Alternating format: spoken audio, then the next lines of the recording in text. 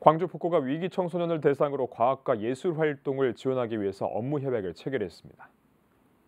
이번 협약은 국립광주과학관을 비롯한 기관 세 곳이 참여했고 과학과 예술 분야 체험 활동을 통해서 청소년의 자존감을 높이는 것에 목표를 두고 있습니다. 협약에 따라서 북구는 사업 총괄과 행정 지원을 하고 국립광주과학관은 과학 캠프를 운영합니다.